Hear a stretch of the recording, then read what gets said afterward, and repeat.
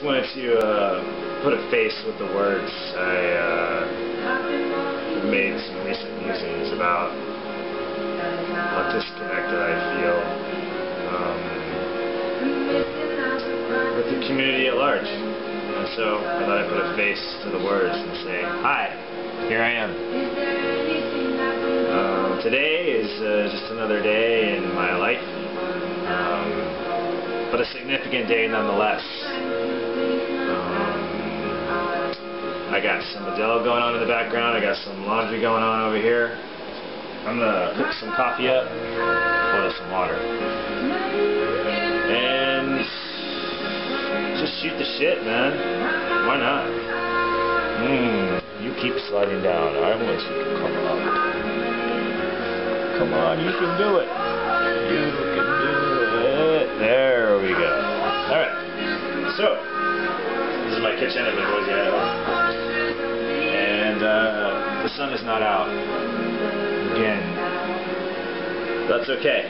Um, it's a tough one for me. Uh, I came from a place where there was over 300 days of sun a year, and live in a place where there's only 120 days now. So, ah, it's challenging. Um, but it's a nice place. A lot of cool stuff that goes on here just having to learn to readjust my expectations to life. Just go backpacking every weekend like I like, but spring's coming, so I'm really looking forward to that. So, here I am. Just going to jump in and out, play with this a little bit, and uh, see what I can come up with. Alright. So I'm going to start off by uh, making my paleo breakfast. The coffee is done, as you can see, right there paleo breakfast is going to start out with uh, sauteed onions. You can't go wrong. You put sauteed onions in everything. Cook everything in coconut oil. So um, I'm going to have the sauteed onions. I'm going to have uh, a diced up yam that I'm going to cook in uh, iron skillet. And I'm going to prepare my eggs, and once all that's cooked, um, transfer everything over to the nonstick skillet and uh, cook up my eggs mix it all up. It's going to be good. Check it out. Okay, there's the uh, onion. It's all caught up. So you just dice it up uh, into, you know, minus one inch uh, pieces. And here is the uh, skillet that I use. It's just a small cast iron skillet. And I have melted uh, coconut oil, which is right there. I get from Co. And basically, you just take it, put them in here, and we don't have any sizzle going on because I don't have the heat up all the way, but I like to turn the heat up about two-thirds of the way to get the oil melted. And then once I put the onions in, I then crank the heat up so that we can get some good cooking on that. I'll just take that, put that all in there,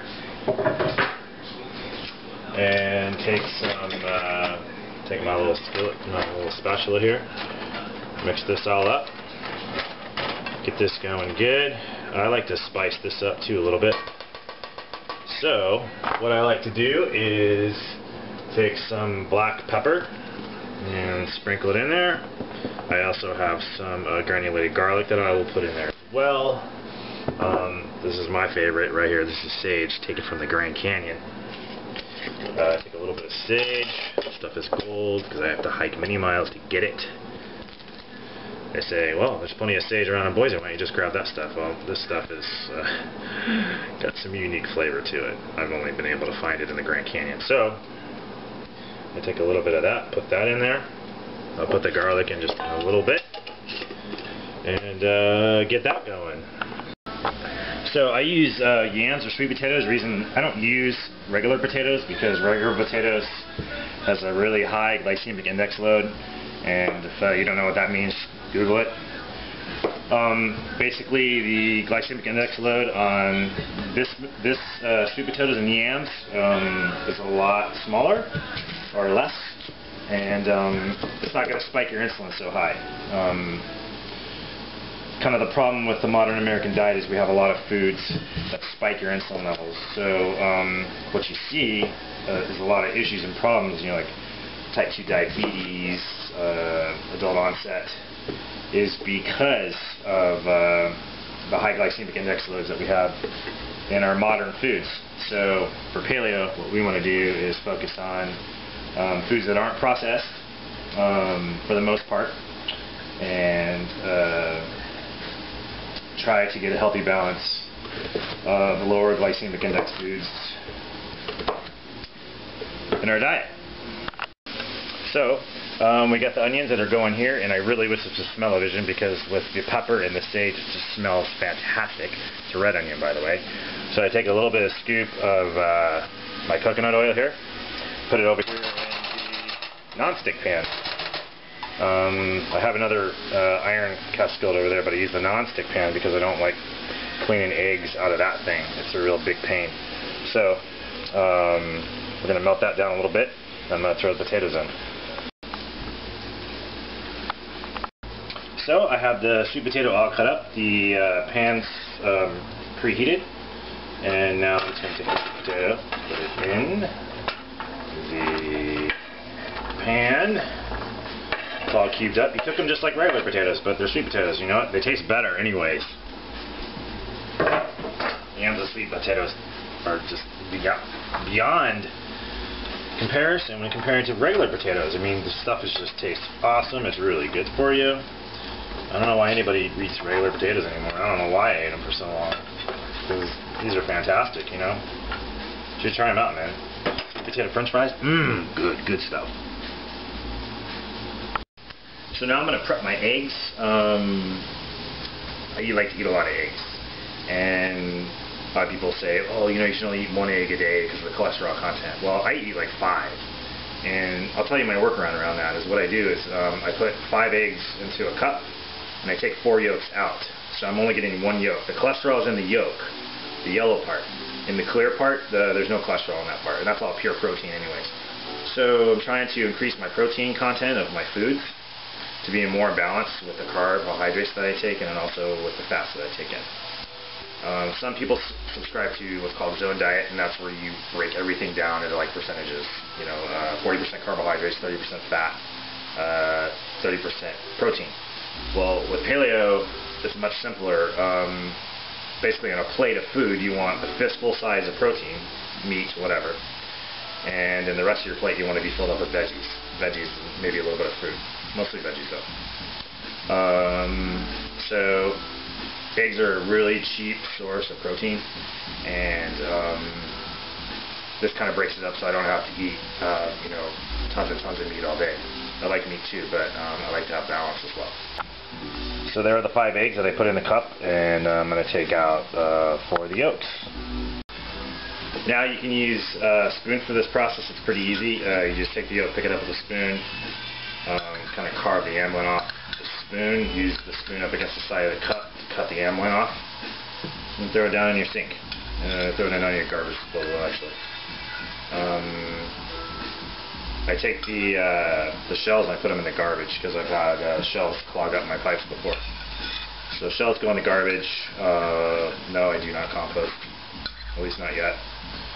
And uh, yolks go into the drain.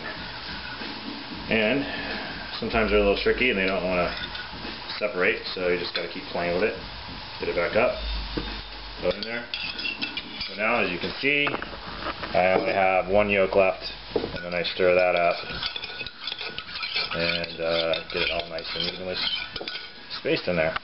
So as you can see, uh, caramelized the onions nice, uh, caramelized them up, and now they're just sitting in the pan, the heat's off on that. And you can see that my uh, sweet potatoes, my cube sweet potatoes, are cooking up just really nicely. They take a little while, um, so I just have to shift them around in there periodically. Um, Another thing I like to add to my potatoes is spinach. Um, I just get the spinach in the bag. Um, this is Popeye spinach. So um, what I'll do is I'll take the spinach from here and I'll put it in there and cook it down. So spinach takes up a lot of space because it has a lot of water in it. So I just throw a little bit more oil in there, coconut oil that is. Put the spinach in there and uh, cook it down, and it adds a nice flavoring uh, to my to my breakfast. So, uh, gone ahead and put some oil in there, and now I'll just take a little bit of spinach, Throw that in there.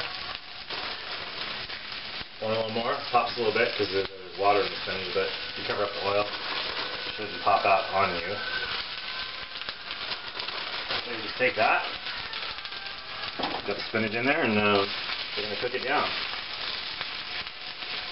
So this will dramatically shrink in volume the more you cook it down.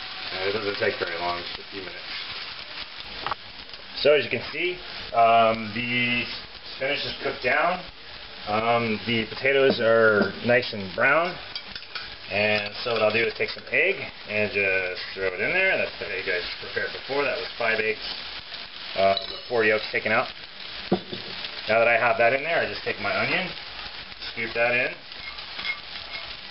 Mmm, it's going to be delicious.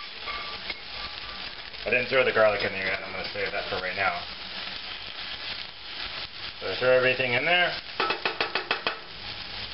Then I take some uh, granulated garlic. Um, it's, just it's called fine powder, but really it's, it's granulated. It's not like flour. It's small grains, which I seem to like the best. Seems to works out best with all my cooking. Go ahead and put some in here. I'm pretty liberal with the uh, garlic because I really like garlic. And then just stir it up. Got the nonstick pan, so I really like that. Some people uh, like to just use stainless steel. Stainless steel to me is a pain in, a pain in the butt to clean. Um, purists will say, "Oh, you got all that non-stick stuff mixed in your food." Well, you all can't live forever, right? So one thing or another is going to get us. Anyways, I try to uh, minimize the uh, stuff that can poison me in my life, uh, but I'm not going to go to extreme levels to do that. So, um, this is my paleo breakfast. This is going to cook up just a little bit more. And uh, then it's going to be time to eat. It's going to be good. So now the meal is just about, it's done cooking. Um, it's So it's sweet potatoes, spinach, caramelized onions, um, and eggs that uh, been had the yolks taken out, except for one, because I like one yolk. That's going to go in my belly here in a second. So for fun, um, just to throw a little bit more goodness into this, I'm going to take the rest of this avocado that my sweetie left me this morning. Take the uh, take the seed out. I'm going to cut this up. Oh yeah, because here comes the goodness. This is the good part right here. Take this avocado and uh, spread it. You know, the thing about paleo and the way you eat here is you tend to eat a little, eat a little more fat than most people would, but these are this is healthy fat and it gives you all kinds of energy. And I haven't noticed any weight gain from including things like uh, cooking with coconut oil or using um, avocado in my meals to spice it up. Add a little bit more flavor and if you really just want to top it off here, um, take a little bit of Cholula or Sriracha, whatever is your fancy. a little bit of that on top. And voila! You have a great paleo meal that I'm going to consume and enjoy the goodness of this. Um, because 95% of it or 98% of it is uh, is uh, not a processed food. So um, enjoy and uh, see you soon.